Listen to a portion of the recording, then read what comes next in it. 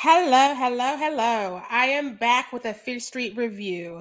This one's different because it's a book. That's right. We've learned how to read on Fierce Street.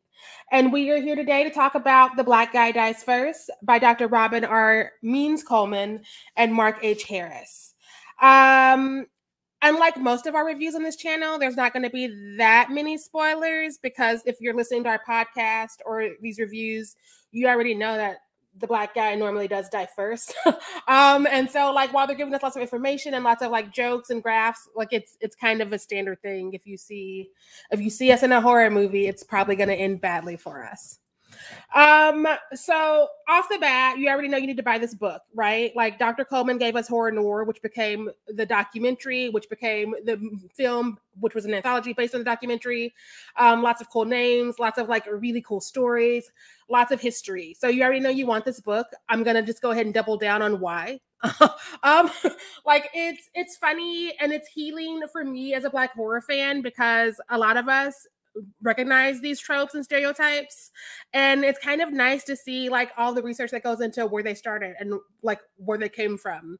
Um, and also to see just how large the numbers are for these problems and issues because we always say most movies or all movies or you know she was going to get it because she was the black girl but to like really see the data and to see the numbers which is something that i was never going to do as a homeschool girl who can't do numbers um it's it's healing and it's also validating because again like a lot of us have noticed this like most of our friends who are podcasters and are black and i are having these conversations in our group texts our dms like on each other's shows and so it's just sort of nice to be like somebody out there with the vocabulary and like the research has also felt the same way and has also put it to paper yet again.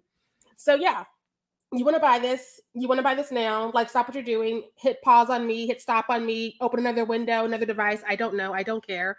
Buy this book because it's out and about. Um, it's Black History Month and it's a damn good reading.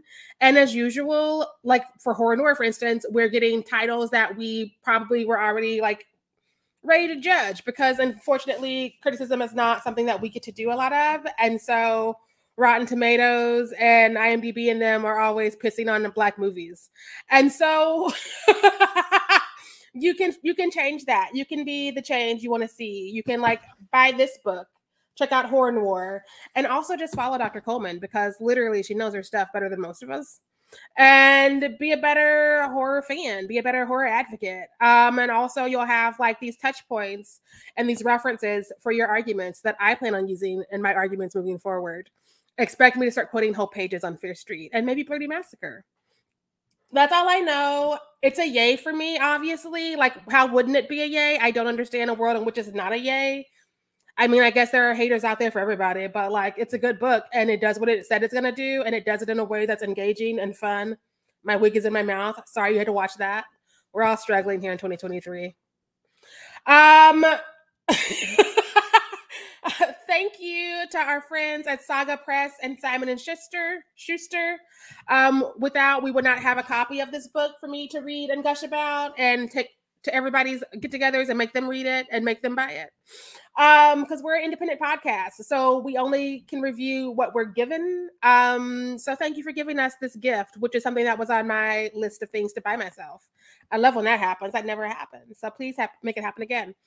If you are a follower of Fierce Street and you just watched this book review and you're like, whoa, I want to see this woman in the wig talk about more books, let us know that as well because maybe we'll get into more books. We did say we'd cover horror everything, and we've been very centered on movies and shows. So now that I can read, why not? Let's do it. Let's go.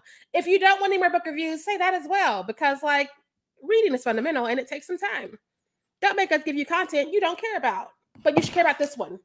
And then stop caring about things. But the black guy dies first. Buy it, order it, do whatever you got to do to get it um, legally. Give them money because you need to support black content creators, especially black authors. Yes. That's all I got. Bye.